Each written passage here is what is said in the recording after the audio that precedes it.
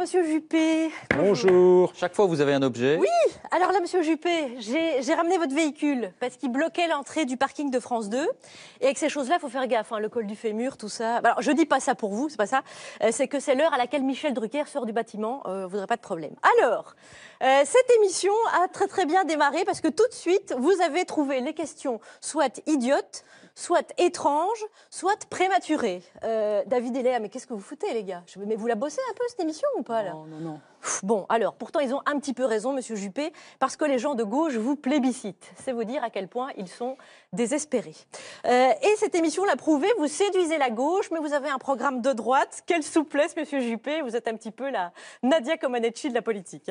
et pourtant, quand j'ai entendu l'ancien syndicaliste qui est derrière vous, Jean-Jacques Ross, j'ai trouvé que cet échange vous conférait, vous conférait une stature, voyez euh, C'est pas tous les jours qu'on peut se retrouver face à un homme qui a exercé les plus hautes fonctions fonction du pouvoir au siècle dernier. Euh, L'occasion de nous donner votre définition du renouvellement en politique des jeunes qui entourent un, un homme d'expérience. Voilà. Alors, passons au reportage à la maison des chômeurs maintenant. Alors, très chouette, hein, David. Euh, moi, euh, j'avais jamais vu cet épisode de Rendez-vous Interinconnu, formidable. Euh, par contre, j'avais vu celui euh, avec Balkany au centre des impôts, mais celui-là jamais. Alors, bref, quelle décontraction face aux chômeurs, Monsieur Juppé. Avant, moi, je croyais que vous étiez un mec un peu coincé, austère, le genre de mec qui prend sa douche avec sa cravate, et en fait, pas du tout. Là, super décontracte, le swag de droite, quoi. vous avez changé, c'est vrai. C'est fou.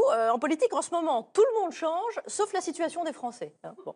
Alors, euh, oui, vous avez changé, vous étiez le meilleur d'entre nous, vous êtes devenu le moins pire.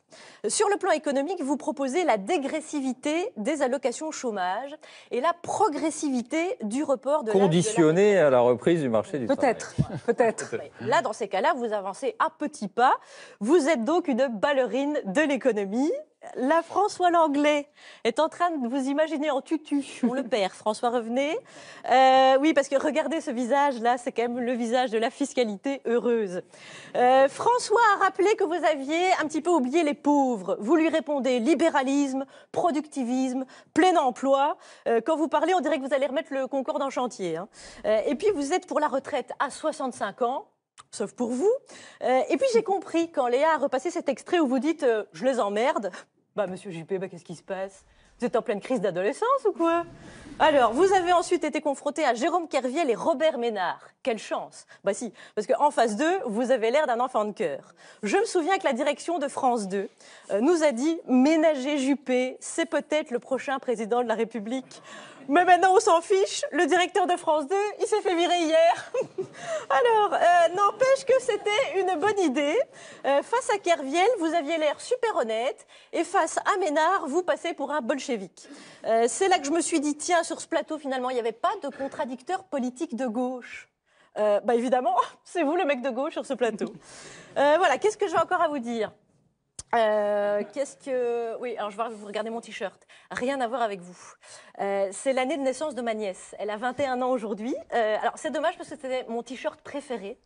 J'ai fait imprimer ce truc-là. Ça part pas au lavage. C'est indélébile.